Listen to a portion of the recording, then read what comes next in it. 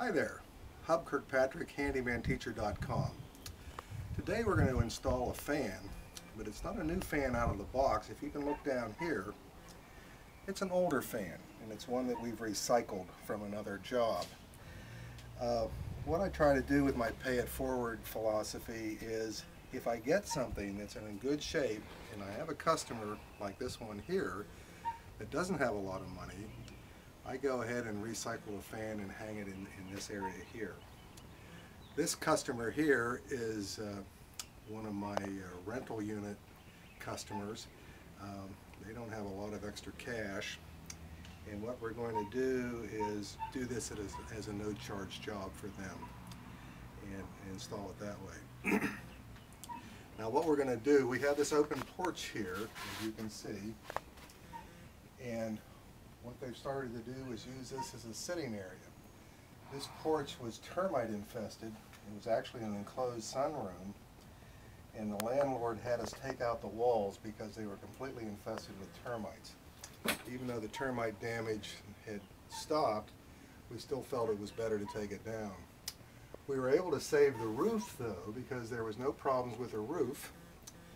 And what we did in the front here was put in new support beams to hold this good wooden roof the way it is.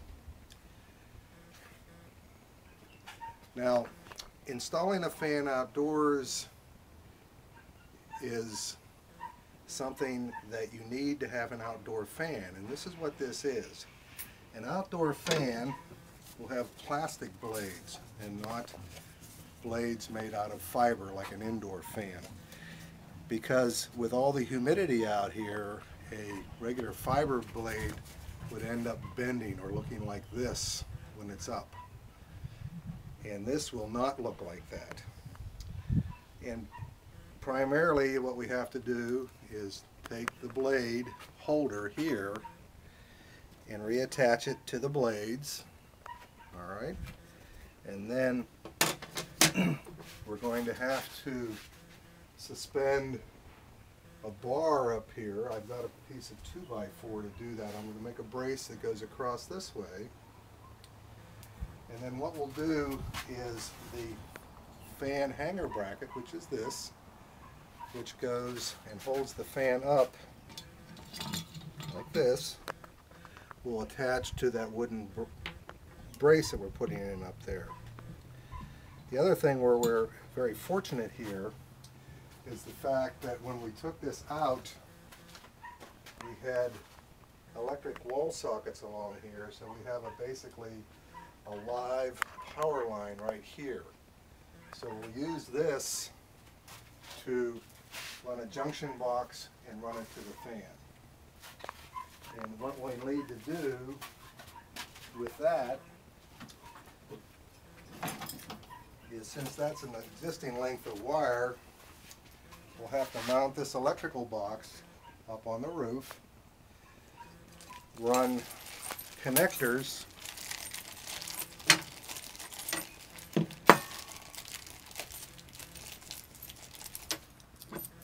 into the box to hold the wire and then run the new wire down to the fan and the fan will be hooked up with their with its existing wiring. We have to make sure that the ground is established from this wire to the fan. We notice we have a green wire here and on any of these house wirings you have your black, your white, and your ground wire. So we will continue to run our ground uh, from the house wiring, which is right here. Alright, the first thing we're going to do right here is reattach the blade to the fan. Oops, I'm going backwards there. We'll put the screw back in. We'll just start it with our fingers.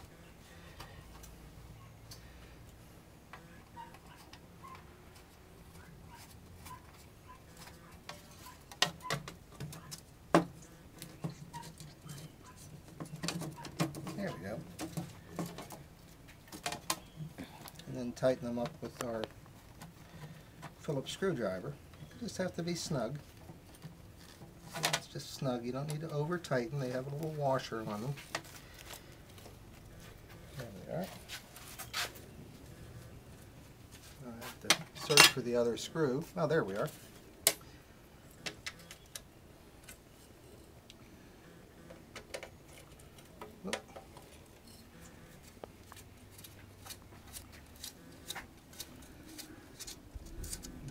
That one in by my fingers and then just give it a final tightening. And I've left the other blades already together so that, but I just needed you to see that. All right. And you see here, these are where the holes where the fan blades go. All right.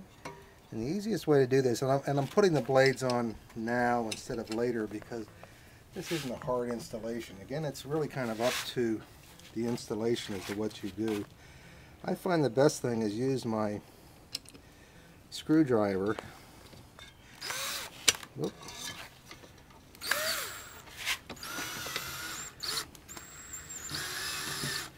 And kind of just get that seated a little bit. Okay. And then come back with the other screw. Ah, now it's kind of holding itself in place. And I'll just tighten them down. Just snug again, okay? Not, not overly tight. See how it snugs and moves away? Now we'll just go ahead and do that with the other blades in the same way. Now we have to determine where the brace is going to go on our ceiling here. The porch is 10 feet wide, so we know we want to come back 5 feet. But then we have to go up here and measure what our width is here, so we know how to cut the brace. Now we need a brace that's 35 inches, and that'll go from one inch to the other. And then I'm coming back 5 feet, 60 inches to right here. I'll put a little mark there, noting that that's the center of that. And then I'll do the same on the beam over here, so we'll know where to put the beam in.